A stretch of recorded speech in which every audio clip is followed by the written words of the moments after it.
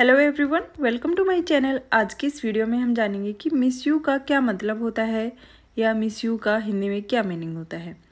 तो जब कोई कहता है मिस यू तो उसका मतलब है कि तुम्हारी याद आती है यानी एन एक्सप्रेशन ऑफ़ सोरो और sadness from the absence of a family member close friend lover और स्पाउस यानी आपके परिवार का कोई मेंबर या आपका कोई दोस्त या आपका कोई आ, लवर या स्पाउस, यानी पति या पत्नी, पास नहीं होता है। उसके अब्सेंस में जब आप उसे याद करते हैं तो उसे कहते हैं कि मिस यू तुम्हारी याद आ रही है या तुम्हारी याद आती है?